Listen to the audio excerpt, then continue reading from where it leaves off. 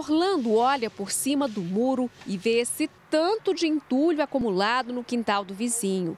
Tem plástico, metal, vasilhas, motores e até uma montanha de sapatos. Tudo misturado a mais um monte de coisas.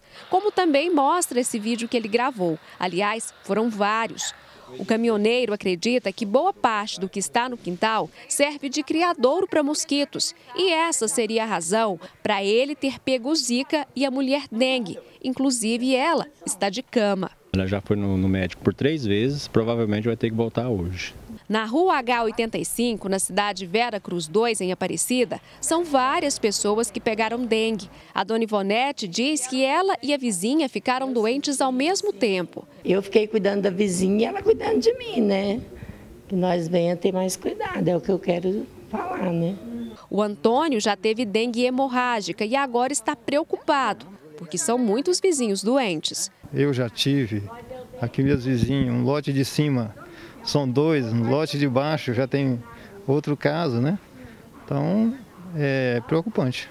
Dona Ana também está nesse grupo. Ela diz que cuida direitinho do quintal dela, mas mesmo assim ficou doente. Acredita que pela sujeira acumulada por outros moradores. É um absurdo. E a, a população toda é ao lado da, próximo, tudo já deu dengue. O Orlando diz que já tentou falar com o dono do entulho, mas sem sucesso. Na prefeitura também não conseguiu ajuda. Enquanto fazíamos a reportagem, o morador chegou. O senhor sabe que o pessoal está sofrendo bastante com dengue aqui, né? Mas não é daqui.